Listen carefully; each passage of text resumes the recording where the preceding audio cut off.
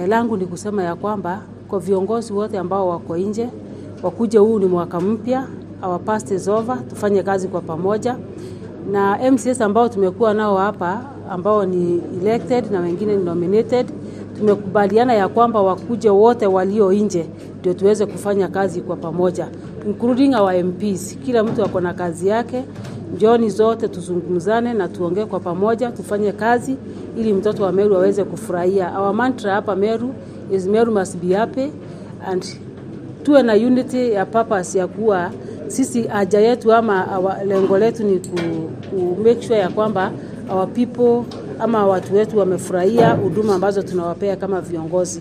Kwa hivyo nachukua hii nafasi kama gavana wa Meru kukaribisha kila mjumbe ambaye ni wa jimbo la kaunti ya Meru na wajumbe wa national government wakuja tufanye kazi kwa pamoja.